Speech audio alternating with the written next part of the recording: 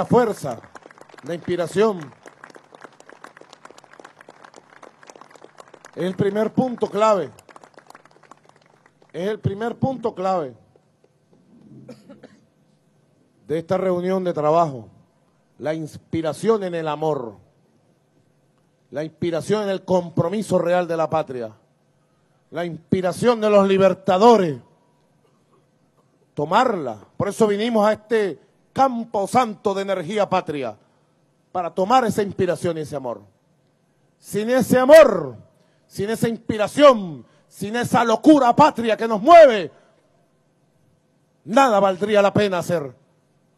Nada valdría la pena hacer. Para hacer política, por hacer desde la revolución, no sería revolución. Hagámoslo por la causa grande que viene de atrás, la causa grande de la patria, de este brazalete tricolor. Es el primer punto.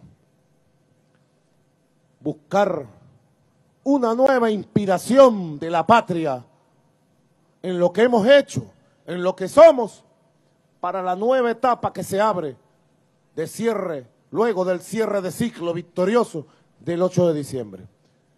Se abre una nueva etapa, compatriotas.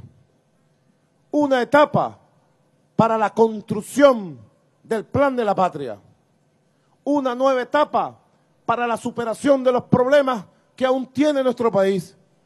Una nueva etapa para la rectificación de los errores que hemos cometido de burocratismo, de ineficiencia. Una nueva etapa para la construcción de una nueva ética política republicana para la superación de los vicios, de la corruptela y la corrupción.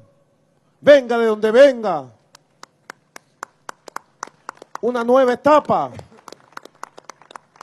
para la construcción de una nueva economía productiva, diversificada, de todos y para todos, socialista. Una nueva etapa se abre, compatriota, a partir de esta inmensa fuerza que ha demostrado la historia presente de Venezuela. En 14 meses, ¿cuántas pruebas hemos pasado? El miércoles que viene, en horas de la tarde, he convocado a gobernadores y alcaldes.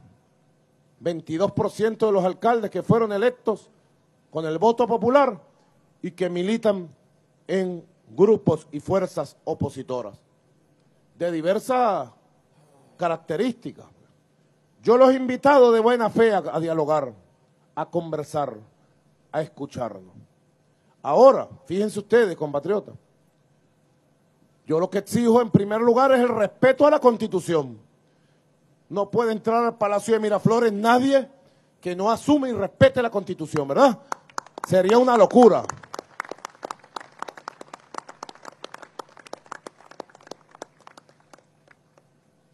En segundo lugar, si los estoy convocando como gobernadores y alcaldes electos, quiere decir que yo a todos y cada uno los reconozco desde el primer segundo que fueron electos por el pueblo.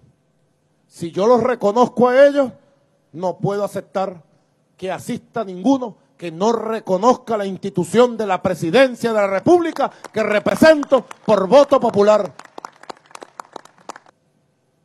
A Miraflores no entre nadie, ni va a entrar ningún alcalde gobernador que no reconozca a Nicolás Maduro como presidente constitucional de la República Bolivariana de Venezuela, y lo digo desde ya. De manera sencilla, pues.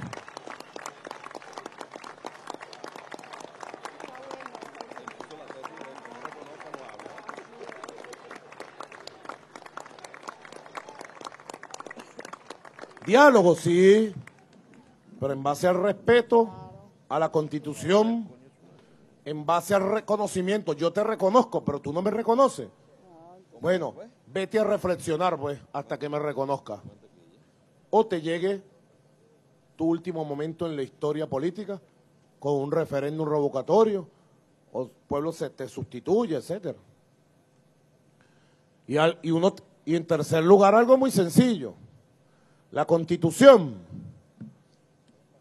habla, como ustedes saben, de la obligatoriedad de las autoridades públicas, ustedes lo saben, presidente, gobernador, alcalde, de presentar un programa de gobierno, ¿verdad? Todos nosotros cumplimos eso. Y luego el programa de gobierno se presenta ante la instancia legislativa determinada. A mí me tocó ante la Asamblea Nacional, ¿cierto? A cada gobernador ante los consejos legislativos. Y a cada alcalde le tocará ante el Consejo Municipal. Bueno, resulta ser que el plan de desarrollo económico, social y político de la nación que contempla la Constitución es ley de la República.